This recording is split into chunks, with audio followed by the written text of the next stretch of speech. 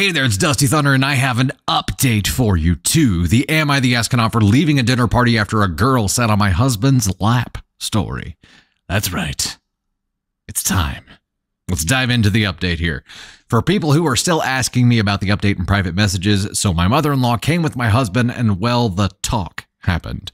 There were a lot of things, but I will try to summarize. Basically, Jake apologized to me first and tried to explain his point of view.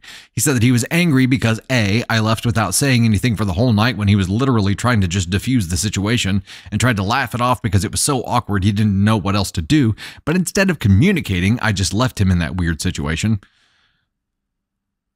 That's totally your fault, OP. He was meeting his friends after such a long time and just wanted the dinner to be peaceful, and Cindy was going back anyways, and we would most likely never meet her again. I call bullshit on that as well.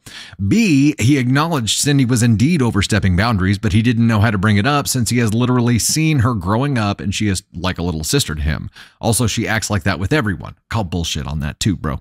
He thought that it was just for a few days and he wanted no drama during their stay, so he would just brush it off. That does not lead to no drama, bro.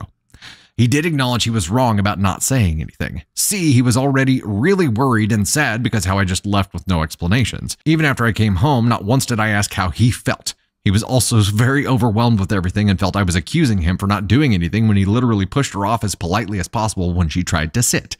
He felt I was attacking his character and even gave an ultimatum, which made him so sad he felt as if I thought that less of him.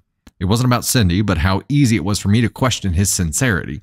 He said after that dinner he was going to go extremely low contact with her anyways. And D, he apologized for not speaking up about the disrespect Cindy was showing towards me and for also leaving like that.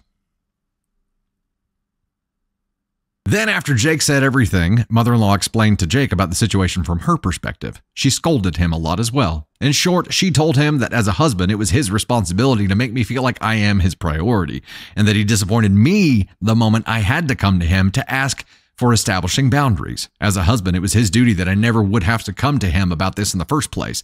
She also asked him about how he would have felt had it been a guy on my lap, and he had no answer for it.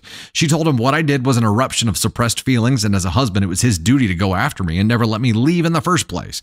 There were a lot of things said by her, and Jake seemed to realize and sincerely apologized for his actions. She told him if he ever pulled such a stunt ever again, then not to expect her to take him in. Later, she took me for a walk. It was just the two of us, and there were and there she explained some things to me as well. She said that she's sorry for everything, but told me that even at her house, Jake was distraught. He didn't tell her because he most likely knew he was wrong too, but was overwhelmed about everything as well. She said, In no way is she excusing her son's behavior, but she would hope that I would forgive him. She also said that in no circumstances do I need to leave my house, as it was my house and my family's. She said I shouldn't be afraid in speaking my mind if anything else makes me uncomfortable, and to talk to her if Jake does something stupid again, and she will set him straight.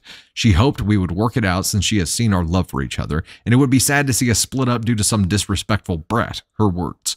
She said she cannot have a say in our issues, but suggested that we should get counseling to understand each other better. She even bought ice cream for me. I know it's a bit childish, but she said sweet things work as a charm when people are upset, and well, she was right. Well, it was awkward at night. Jake came into our room and we didn't know what to say. After a while, we talked and we both apologized to each other. However, I did tell him that I was angry at him to tell everything to Sean and was deeply hurt by the text he sent me. He said he didn't know what I was talking about, and I showed him the text. He said he didn't tell Sean about our fight and only told him that he was at his mom's place. He called Sean, and well, it turns out Sean told Cindy and told her how she went too far at the party. Then Cindy made a huge sob story about how I was passive aggressive with her the whole time, how I would always try to question her character and act insecure and jealous. She even went on to say that I was always like that with her, even when she was a kid, that I never liked her and always tried to manipulate people into thinking I was an angel while she was a little shit. Well, that made him angry to think about how I have been treating Cindy, and he sent those texts. Jake and I were baffled by such accusations, and he tried to explain to Sean how it wasn't true, but then Jake just let it be and decided to go no contact with Cindy and extremely low contact with Sean. Jake apologized again, but we just cuddled and slept. Well, Cindy is out of our lives for good now, we have decided to go to counseling for better communication in the future. Let's see how everything goes in the future, but yeah, we are not getting divorced. I know a lot of you people wanted me to show Jake this post, but he was so sad and got scolded a lot already, so I decided not to show him the post for now. Maybe in the future. Sorry for all this rambling. Have a good day. Edit. I read people saying that we should be no contact with Sean too, and I felt that it would be best to let that friendship go as well. So I talked to my husband about it, and he agreed. So he sent a text to Sean stating that we could not be friends with him and then blocked him as well. To clarify, I have somewhat forgiven Jake for his actions, but I told him he needs to rebuild the trust that I had. So I know I can rely on him in situations like that. He agreed, and we will get couples counseling as well. Thank you all for your advice. You all made me feel less lonely in all of this.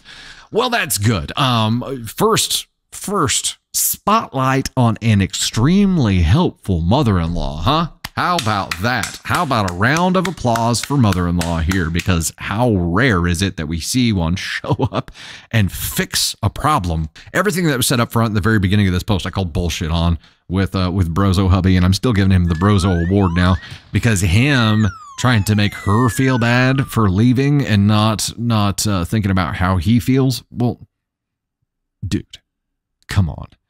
It, it, this was obvious to the entire world what was going on here, and just because you didn't want drama, it does not mean that inaction is the answer. Inaction did not create less drama, did it? Inaction in this case actually made more drama than there would have been if you were like, "Hey, what are you doing? Don't do that. Don't don't act like that with me. That is not okay. You're like a little sister to me. You're being disrespectful to my wife. Stop. That would have created a little burst of drama and then it would have been over. What you did, let it snowball here and get to this point. I'm so glad mother in law came in here and, and was like, that was stupid. Don't do that shit ever again. So she set him right. That's amazing. I'm glad that they're looking at counseling. This is going to be a long road here, but I think they're taking the right steps. So good. It's it's rare that we see, you know, some kind of positive resolution like this and a path to a solution being facilitated by a mother-in-law. Again, I'm just amazing. Amazing. I still think hubby is is is at least he knows he's in the wrong, but his explanations here are not helping him. My advice to you at this point, hubby, is to keep your mouth shut. You're just getting yourself in more trouble and do the work to rebuild trust. That's the only mission you have right now. Keep your mouth shut. Don't try to explain anything away because it's only making it worse. Do the work. That's it. Hopefully, we don't see another update on this one.